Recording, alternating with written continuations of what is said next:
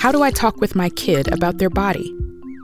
The preschool years are a great time to help your little one understand what their body parts are and that their body is worth loving and belongs to them alone. These conversations can help them stay safe and grow up with a healthy body image.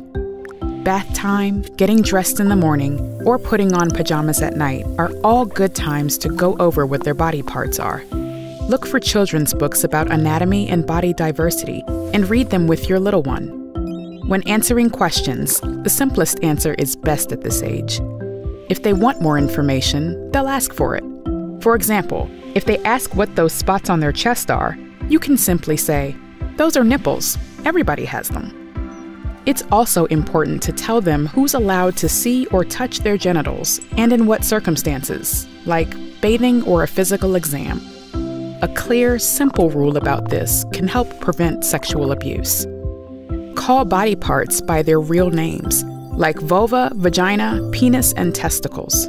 Cutesy nicknames can send the message that genitals are shameful and shouldn't be talked about.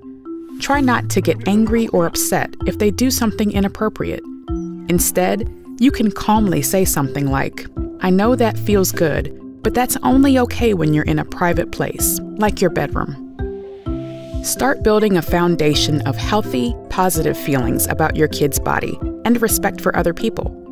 Avoid criticizing other people's or your own body in front of your kid. Instead, talk about bodies in more positive ways, like the great things they can do Show your kid positive images of people who look like them, especially if there isn't much representation of their race, gender identity, ability, or culture in the world around them. Little kids notice bodies that look different from theirs different genders, races, ethnicities, hair, abilities, you name it. These are teachable moments. You can talk about how everybody is beautiful in their own way it's also a good opportunity to help your kid understand how to be respectful of people who are different from them. It's common for preschoolers to have questions about genitals and how bodies look different for boys and girls.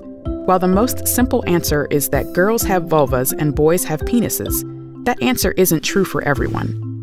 Boy, girl, man, and woman are words that describe gender identity, and some people with the gender identities boy or man have vulvas, and some with the gender identity girl or woman have penises. You can say that most girls have vulvas and most boys have penises, but it's not true for everyone. That's because your genitals don't make you a boy or a girl. How you feel and identify does. Want to learn more? Visit plannedparenthood.org/parents.